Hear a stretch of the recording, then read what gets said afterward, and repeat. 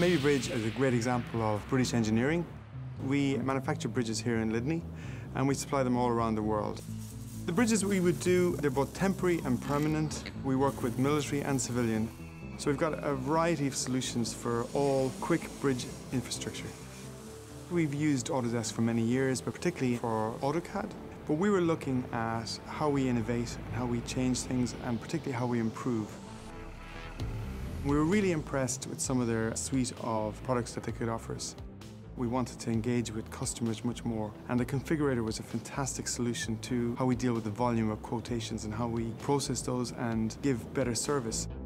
Having implemented the Configurator 360, um, seeing 50% of our workload channeled through the configurator, the turnaround for a quote's five times faster than it was in the old linear system. This gives it a lot of resource to then focus on what's next technology, what are we going to do, how are we going to take the business forward.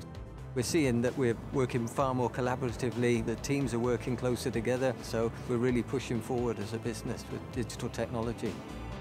Previously, we'd send out 2D drawings for the customer to see what we're potentially supplying to them. Now we'd take it to the next level and fully utilize the 3D technology to enhance the customer experience for customers, not necessarily from a technical background, to be able to put the VR headset on and walk around the bridge and appreciate the scale and the level of detail is really impressive compared with sending a 2D drawing out. So it's really changing the way we do business and hopefully differentiating us from our competition.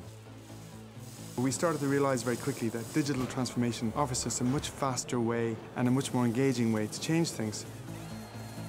We think we're at the start of that journey. We think we're ahead of some of our competitors, for example, but we're only touching the surface of it.